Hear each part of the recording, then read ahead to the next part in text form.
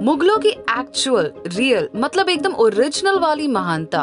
तो ये निकली कि जब भी वो कोई कोई मस्जिद या मीनार बनाते थे तो अक्सर उसके नीचे एक पुराना मंदिर बनवाते थे। अब पूछो वो क्यों? ताकि उस पर दुष्ट ब्राह्मणों की नज़र ना पड़े।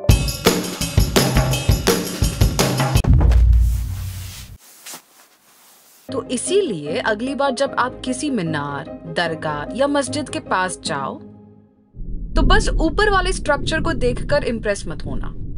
हो सकता है आप सेक्युलरिज्म के एक खंडर के ऊपर भी खड़े हो।